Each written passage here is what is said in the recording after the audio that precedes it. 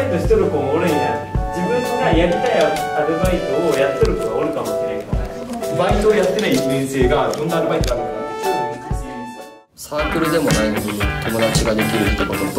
自分の興味関心っていうのが増えるんで何かを挑戦してみたいという思いからです。自分を少し上の段階へ達成してみたい成長させてみたいという思いから参加をさせていただいています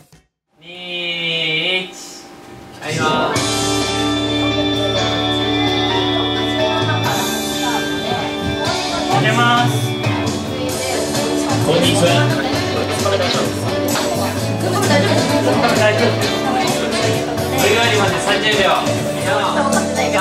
では VTR どうもします